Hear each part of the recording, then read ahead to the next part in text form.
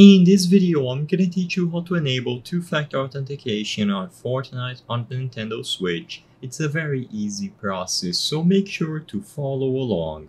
As you can see, I am going to show you how to do this process through the Fortnite website.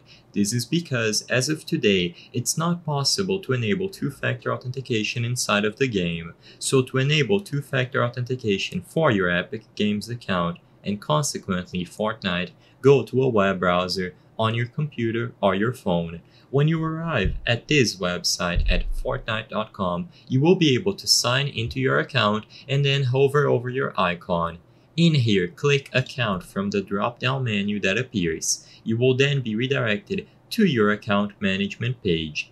Now, select Password and Security on the menu at the left side of the screen and then scroll down. The last option here is going to be two-factor authentication. This is how you can set up two-factor authentication for your account and Fortnite.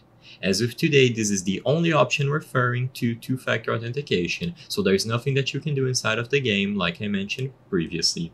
You will have three options. You can use the Authenticator app that you can download on your phone, and every time you sign in, you will be able to open up the mobile app to get the code. You have the option to use your email, so that way a code will be sent to your email that you have to input every time you sign in, or the last option is an SMS code. So you will receive a message on the phone number registered here for you to sign into your account. Regardless of which option you pick, you will be able to set them up by following the steps presented here and they should all be working as soon as you confirm the security code, confirm your phone number, or you scan the QR code presented when you choose the option to use the Authenticator app.